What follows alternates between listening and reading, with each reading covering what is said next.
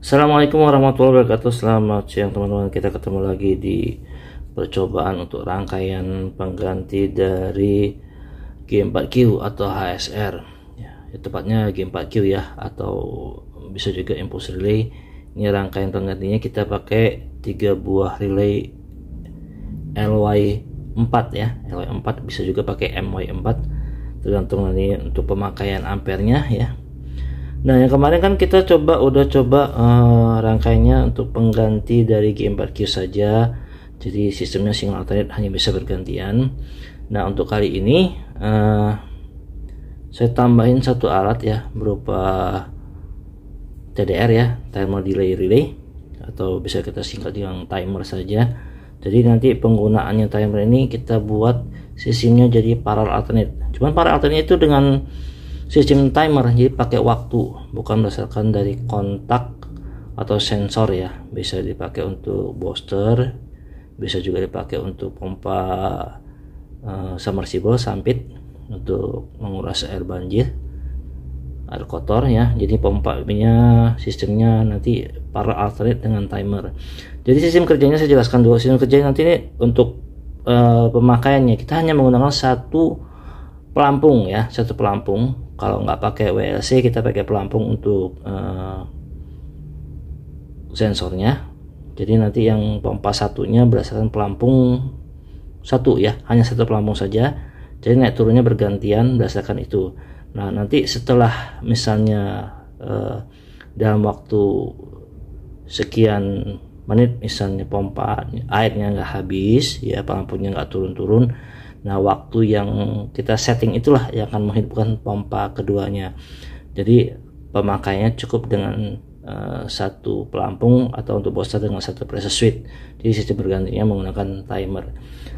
Uh, seperti biasa ya, untuk kita coba untuk uh, single alternate dulu ya. Jadi, saya waktu timernya ini, ini sudah saya buat ya rangkaiannya seperti ini.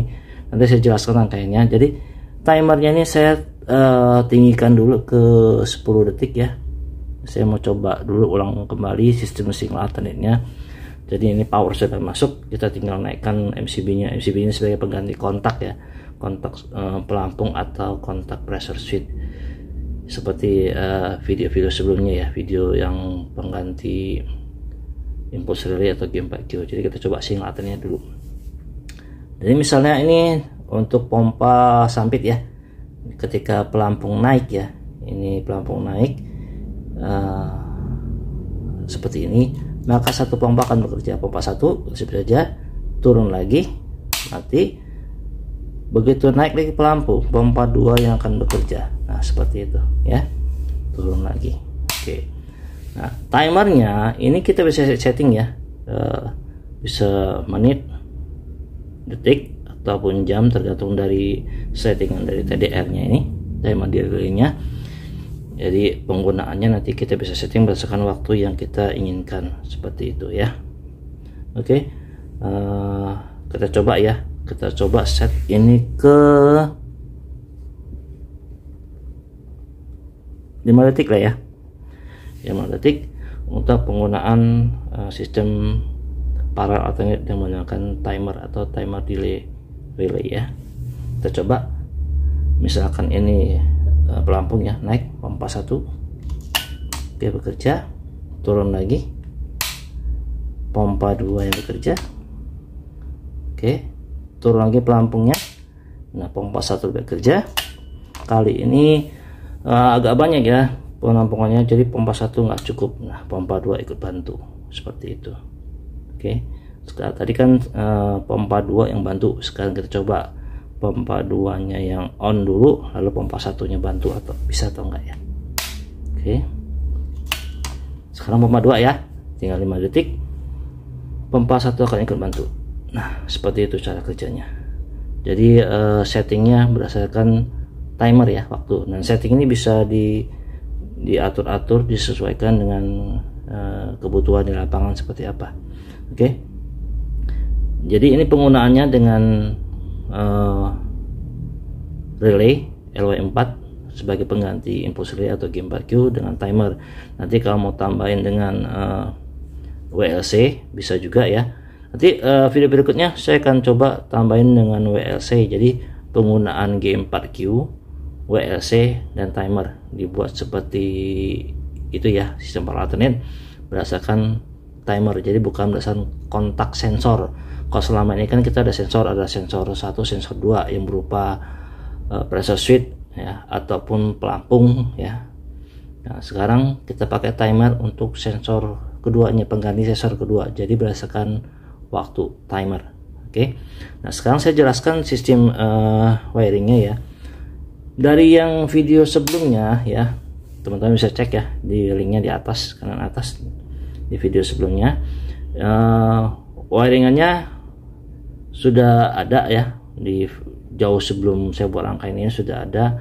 Nanti bisa lihat lagi linknya di atas ya kan untuk cari skemanya. Nah penambahannya penambahan wiringannya dari dari timernya cuma ini aja teman-teman ya. Saya cabut dulu timernya.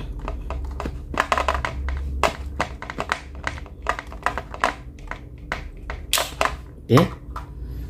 Jadi penambahannya kita coil ini kan coil ya minus plus ya. Plusnya ambil dari kontak dari uh, sensor ininya ya MCB nya ya atau pengganti sensornya. Ini powernya dari sini ya power dari sini. Masuk sebagai uh, power coil. Nolnya juga dari langsung dari ini bisa.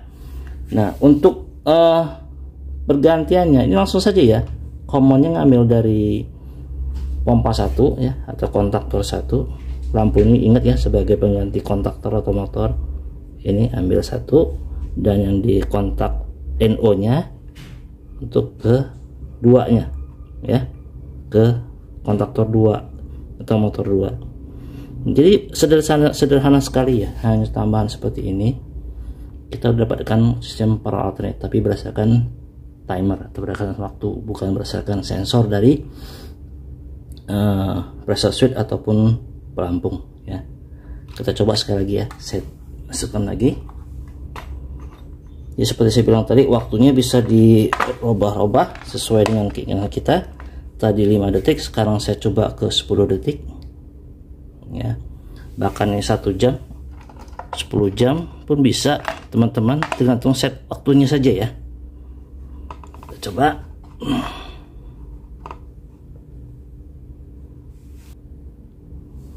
coba naikkan kontaknya ya. Nah pompa satu atau motor satu bekerja. Mati lagi. Pompa dua. Oke mati lagi. Sekarang pompa satu. Sekarang set timernya kan 10 detik. Kita lihat 10 detik ya.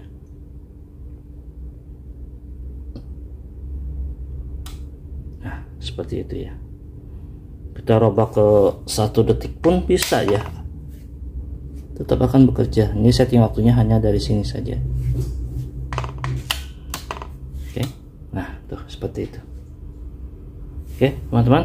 Uh, semoga bisa dimengerti ya kali ini. Nextnya kita akan coba pakai uh, G4Q dengan tambahan WLC dan timer. Jadi sistem paralel itu bisa berbagai macam ya. Bisa dari kontak uh, satu kontak dua bisa juga dari timer delay relay seperti ini ya TDR semoga dimengerti semoga bermanfaat. Kita ketemu next project. Assalamualaikum warahmatullahi wabarakatuh